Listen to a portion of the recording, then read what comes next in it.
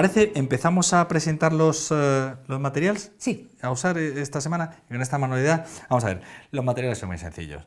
El material concretamente es papel y la herramienta es la tijera.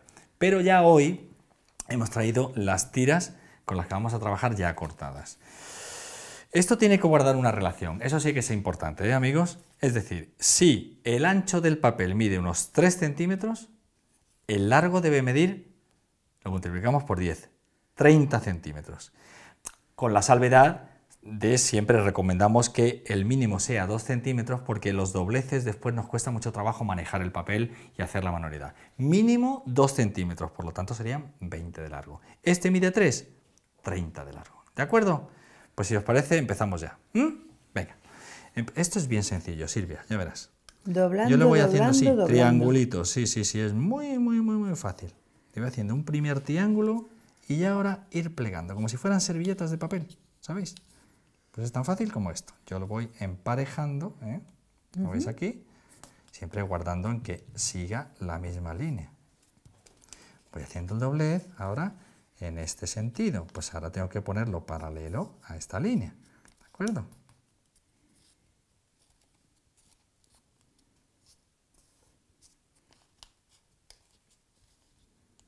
Y ya estamos llegando al final. Bueno, se me olvidó deciros, amigos y amigas, que lógicamente si queréis que el corazón tenga un mayor volumen, la tira debe ser más larga para tener más doblez, Claro. más recorrido. ¿Que queréis que el corazón sea delgadito? Pues una tira más corta. ¿Mm? ¿De acuerdo? Bueno, pues ahora el final es bien sencillo. Una vez que lo tengo hecho, cogemos la tijera y le cortamos la solapa, las esquinas de la solapa, ¿de acuerdo?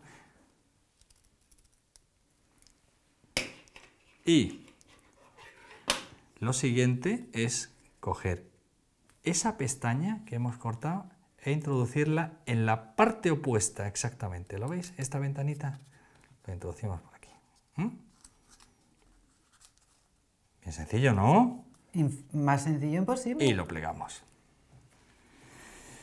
Así es simplemente un triángulo, pero ahora le vamos a dar la forma del corazón. Le hacemos la hendidura Un empujoncito. justo en el centro, ¿lo veis? ¿Mm? Aplastamos los dos cuernecitos que pasamos acto seguido a darle forma. ¿De acuerdo? Venga. Ahora sí que va a empezar a tener forma de corazón. ¿Veis? Cortando así, así, así en redondo, haciendo la formita. ¿Mm? Ah, ya está asomando el Ah, corazoncito. está asomando, ¿ves? ¿Te das cuenta? Sí. Eso es. Muy bien. ¡Oh! Aquí tenemos un corazoncito Precioso, ¿verdad? monísimo. Esto es. Monísimo corazoncito. Aquí lo tenéis, más fácil, imposible. Imposible. O sea que saber, sabéis Bueno. hacer corazoncitos para múltiples, múltiples Claro que sí. Sobre Sí. todo las relacionadas con la fortuna y con el amor. Fortuna, amor, ya sabéis. Chicos, Hasta luego. eso es. Y gracias, Javi. Gracias a ti siempre.